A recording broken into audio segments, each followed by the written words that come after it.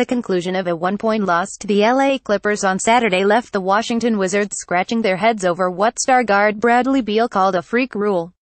The Clippers won the game at Staples Center 113,112 thanks to Lou Williams' three-pointer with 1.2 seconds remaining, but the aftermath of the reserve guard's clutch shot was filled with drama. After the Wizards used a timeout to set up a potential go-ahead score, backup point guard Tomas Satoransky inbounded the ball to Beal on the left baseline. Beal converted the jumper following a dribble, but it was discounted when the buzzer sounded with the ball in his hands. However, after a review, the game clock was found to have started early, giving the Wizards another try. Only this time, it was set to 1.1 seconds instead of 1.2, and the Wizards had to inbound from the corner. Zach Lowe highlights Houston's other great guard, the Lance Stephenson Show, and a fearless rookie, plus more NBA standouts.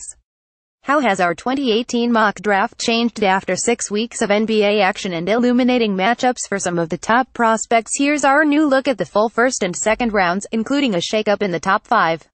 Washington's second opportunity didn't go so well. Center Marcin Gortat was forced to take a contested 21-foot jump shot that missed, ending the game.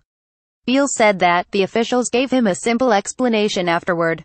Excuse my language, because I'm gonna say verbatim what they said, Beal said. They said it's something called the some S rule. It's a freak rule. To me, it didn't really make sense because you kind of take a basket away. You go back and we get the same amount of time, but we didn't get the same amount of time and then the ball was placed in the corner. Beal then remembered what the officials said the rule was. Oh, it's the Tufts rule, Beal said. That's what it is. I don't really understand it. I don't get it. We had a great play. Now that you take that away, that gives the defense a chance to set up, change some things. Now we gotta go back and change into a different play with the ball in the corner. Beal called it a crazy rule, but acknowledged there's nothing we can do about it, and the officials said there's nothing they could do about it. It just was what it was.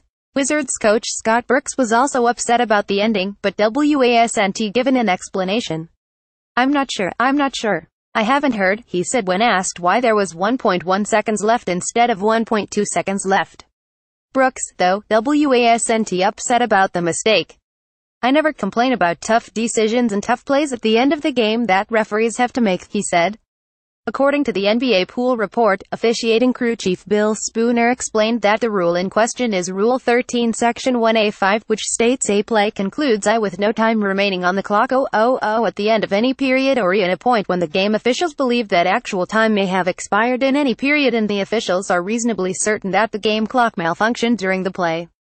But Spooner says that the Wizards actually had an advantage on the play after the review, because the clock should have been reset to 0.1.we had a clock malfunction, early start, Spooner said. The crew actually incorrectly reset the shot clock to 1.1. We should have reset it to 0.1. The reason is, on an early start, we timed the possession, the lost time. The only time that was lost was 0.1. So we should have inbound the ball at the point of interruption, which is what we did, but it should have been at 0.1 instead of 1.1. CLIPPERS power forward Danilo Gallinari said he wasn't sure what was going on at the end of the game. I had no idea. I'm guessing that the clock started right before Beal caught the ball, but I'm not sure, Gallinari said. I wasn't on the table listening to what the referees were saying, so I have no idea. Gallinari, who has been playing professional basketball at some level since 2004, said that he couldn't recall if he had ever seen an ending like that on Saturday. I'm sure that something like this in my 10 years here might have happened I'm not sure, said Gallinari, who scored a season-high 25 points in his second game back from a glute injury.